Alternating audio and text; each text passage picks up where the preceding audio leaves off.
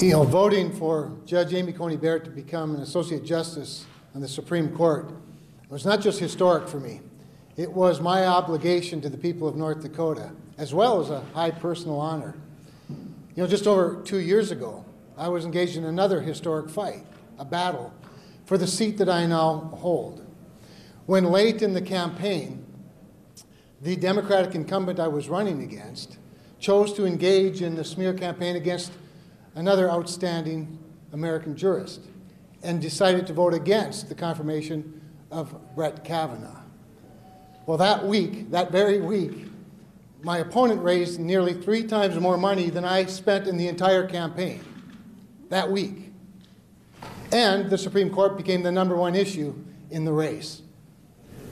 So to somehow suggest, there's no way, no way I would or could suggest that this vote would be delayed. Because to do so, to somehow wait until after the election, when people from someplace other than North Dakota might be tempted to elect a president other than, other than Donald Trump, to nominate a jurist other than, well, let's just say the nearly perfect Amy Coney Barrett to be a Supreme Court justice, would rightly anger the people of North Dakota and do great damage to my conscience.